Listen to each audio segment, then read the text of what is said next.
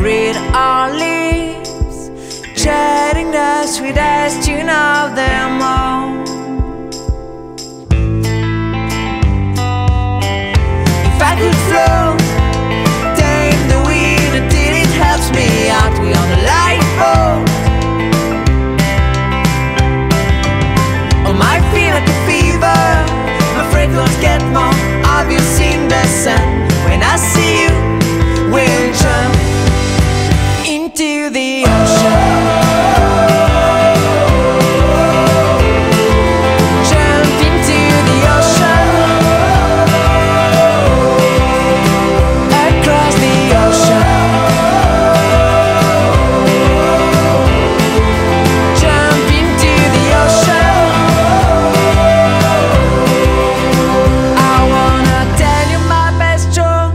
just to hear the sound you make, a tiny bite of you.